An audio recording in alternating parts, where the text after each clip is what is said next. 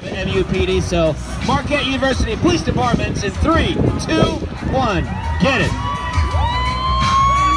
MUPD took the plunge to support Special Olympics Wisconsin.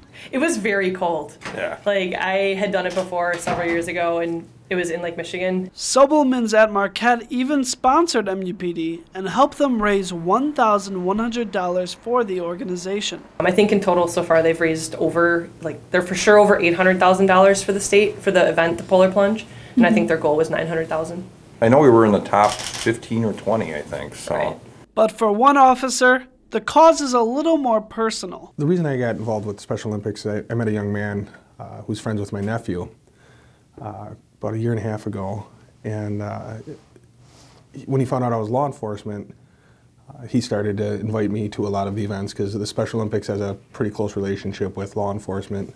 And oftentimes it conflicted with my schedule. And when I saw the Polar Plunge came up and it fell on my off day, I, I wanted to take advantage of that because I mean I see the support that the Special Olympic has for law enforcement and you know to have that opportunity to return the favor. A lot of times you meet somebody, you exchange phone numbers, have a couple conversations, and it kind of fades away.